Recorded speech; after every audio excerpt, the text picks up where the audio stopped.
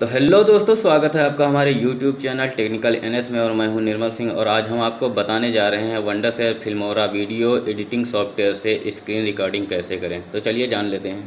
तो दोस्तों वीडियो शुरू करने से पहले अगर आपने हमारे यूट्यूब चैनल को सब्सक्राइब नहीं किया तो सब्सक्राइब कर ले और बेल आइकन को भी दबा दे ताकि हमारे नेक्स्ट वीडियो आने पर आपको नोटिफिकेशन मिल सके। तो चलिए दोस्तों वीडियो को शुरू करते हैं। तो दोस्तों, सबसे पहले हम फिल्मोरा को ओपन कर लेते हैं। फिल्मोरा को ओपन करने के बाद दोस्तों, यहाँ फ़ाइल पे जाते हैं। फ़ाइल पे जाने के बाद यहाँ देखिए, आप लिखा है रिकॉर्ड मीडिया रिकॉर्ड मीडिया पे जाते हैं। यहाँ पे लिख के आता है रिकॉर्ड पीसी स्क्रीन यहाँ पे हम क्लिक करते हैं दोस्तों। यहाँ पे क्लिक करने के बाद कुछ ऐसा इंटरफेस आएगा, जो कि आप यहाँ रेड वाले बटन रिकॉर्ड पे क्लिक करिए। रिकॉर्ड पे क्लिक करने के बाद दोस्तों, अब हमारा वीडियो रिकॉर्ड होने लगा है। चलिए दोस्तों।